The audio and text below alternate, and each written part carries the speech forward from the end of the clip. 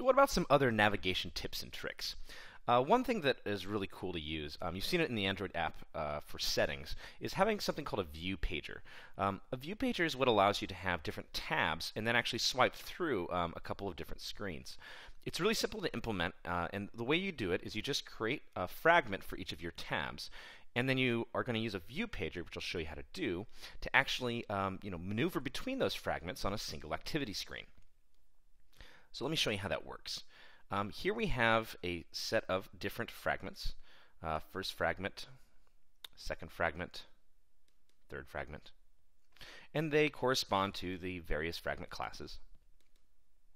But what I have also here is a tabs adapter. If we take a look at that code, let's discern kind of what it does. First of all, it implements a lot of functionality underneath from a fragment pager adapter. In the same way that a list view is kind of adapting different rows uh, from top to bottom, a view pager is actually adapting uh, fragments from left to right. So in order to actually extend that and make it useful, uh, we only need to deal with a couple different methods, uh, and they're going to look a lot simpler than our counterpart with list views. So what we need to do first of all is we need to actually provide a fragment manager to this class so it can deal with the fragment. So here I'm overriding the constructor and just passing it along. The next part is pretty simple. It's get item for a position. So when you actually ask for the 0 or 1 or 2 position in that tab, you just need to be able to return which fragment should be displayed. This is also a very important one, the get count. You need to make sure that you can actually get the number of different tabs that you're going to display. Um, and this number should actually correspond to however many different fragments you're prepared to deal with. Uh, lastly, this is not necessary for this particular piece.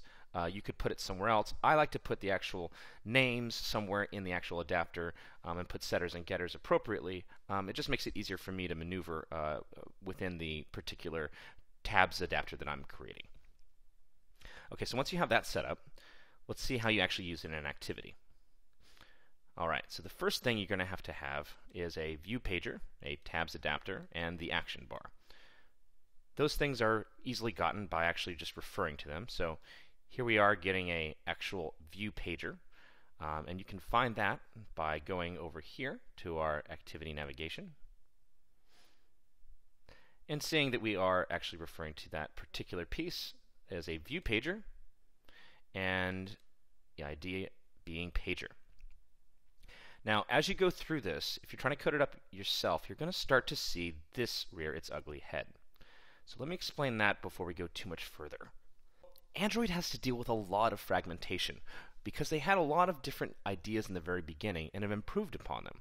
So what ends up happening is when you're at a particular API level, like we are today with you know KitKat, that doesn't mean that older Honeycomb devices might also have the exact same installation. In fact, those Honeycomb devices have a very different uh, amount of libraries that they have access to.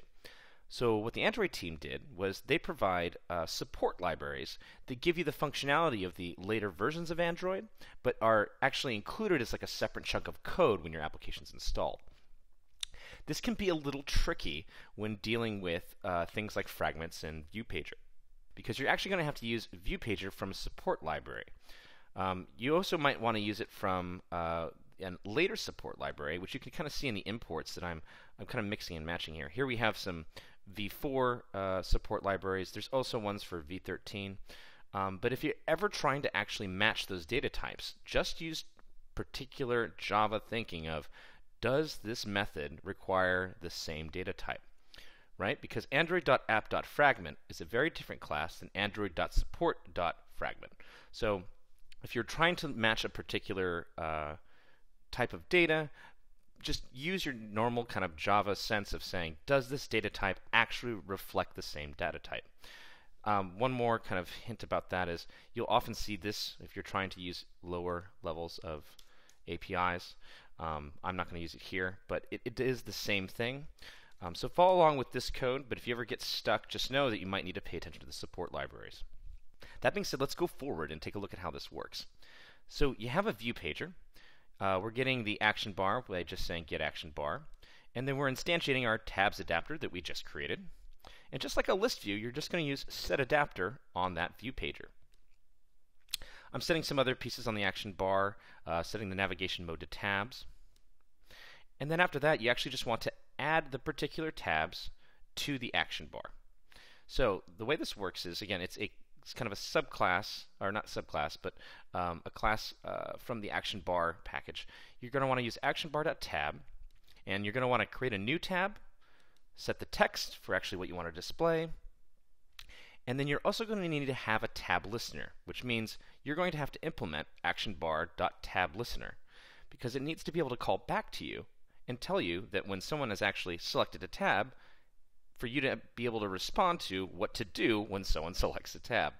In this case, we're actually going to take our view pager and say, hey, set the current item to what was just selected. So after we set that particular tab up, we actually want to add it to our uh, action bar so it knows about it. And then we have this other thing you're going to see here, which is a on-page change listener. Um, very similar, again, once a page is selected, we actually want to set the navigation item to that particular one for the action bar.